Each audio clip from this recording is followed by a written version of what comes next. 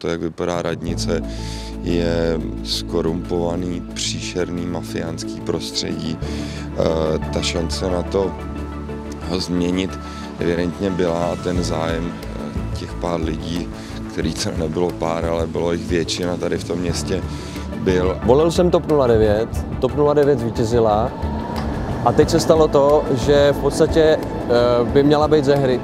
A už jenom taky proto, že například eh, se tady neustále v tomhle eh, státě bavíme s komunistama a počítáme s nima ve vládě, což já si myslím, že je absurdní prostě. Takže bych chtěl, aby se něco změnilo, ale nevím, jak toho docílit. Možná je, mm, se nabízí nějaké radikální řešení, jako byla revoluce v 89. nebo jako byla defenestrace prostě dávno v naší historii.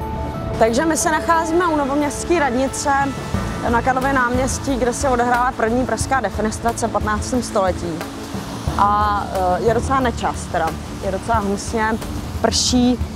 Já bych navrhla sejít se tady, přímo tady prvním patře, v tom prostředním okně, ještě možná taky napravo, eh, s celou tou radou ve tři hodiny, že bychom projednali teda všechny ty body, které se týkají Prahy, a o kterých se, o kterých se bude jednat po následující čtyři roky. Možná bychom mohli otevřít okno. Ono vypadá, že bude docela průvan.